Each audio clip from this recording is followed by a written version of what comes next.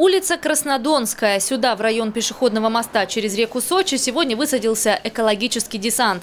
Вооруженные специнструментом, перчатками и мусорными мешками, сотрудники Сочи водоканала принялись за масштабную уборку. Фронт работ – берег реки Сочи.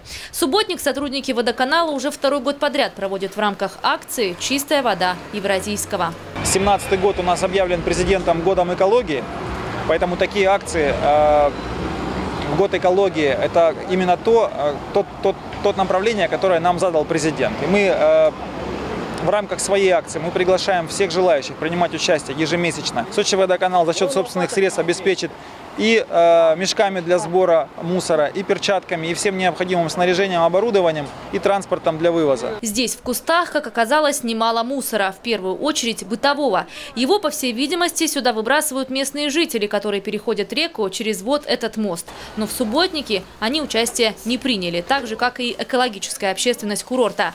А вот сотрудники Кубани-Энерго и молодые депутаты городского собрания Сочи приглашение приняли с удовольствием. В итоге к уборке присоединились около 50 человек. Во-первых, это мы выходим коллективом, э, нам очень радостно, мы каждый день работаем с водой, поэтому нам важно, чтобы город был чистый, ухоженный, облагороженный, поэтому мы весело выходим и работаем. В прошлом году Сочи водоканал провел 8 таких субботников на четырех реках – Хирота, Сочи, Псизуапсе и Западный Дагомыс.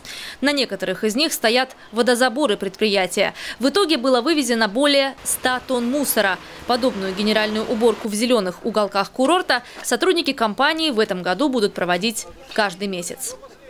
Ольга Десятого, Алексей Давыдов, телекомпания «ФКТ».